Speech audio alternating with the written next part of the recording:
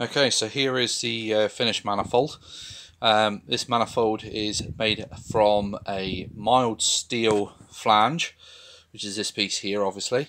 Um, these collectors here are made out of stainless steel, um, welded together into a log style. Now, I've got to be honest, this hasn't been TIG welded, as you probably can guess by looking at it. It has been MIG welded. Um, it isn't the most sexy or pretty, but it is good enough. As you can see if I can zoom in closer there on the actual welds themselves they are certainly good enough to withstand the kind of heat that this is going to see. Um, you know this could potentially see up to 900 degrees.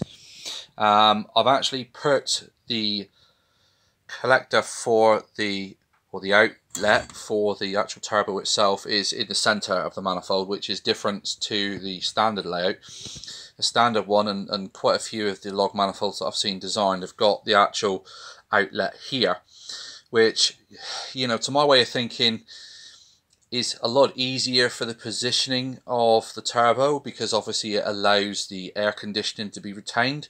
But for me I'm not too worried about air conditioning. You know for me air conditioning is not the primary issue so I, I wanted the, the maximum amount of power maximum amount of spool and everything else. So I fitted the outlet in the middle of the turbo so that you're getting an even or as even as you can um, flow of gases into the center of the manifold and then outwards which hopefully should maybe help spool a little bit, um, should hopefully reduce exhaust manifold pressure and should just help the turbo work a little bit better really.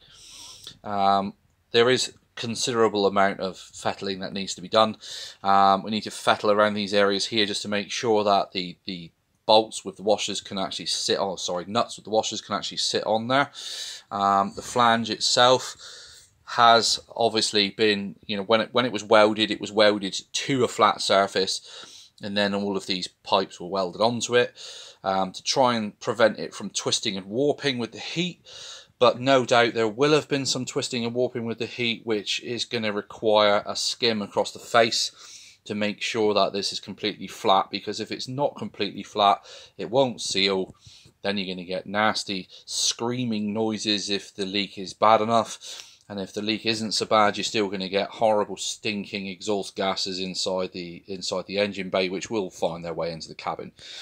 Um, so that's gonna that's gonna have a skim.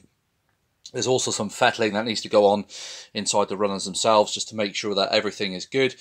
Because obviously if you can imagine all of these pipes here have got steps on them and the steps obviously are matched up as well as you can but there is going to be a little bit of a step here and there looking inside here you can see that it needs a, a, bit of fettling around there as well and if you look right inside there's a step in there which is going to need some tungsten carbide bits which which is just going to have to clean the whole thing up. So you know the whole process is, is going to have to be extended to take into account cleaning all of this up and, and just making it so that there aren't any nasty steps inside the exhaust manifold.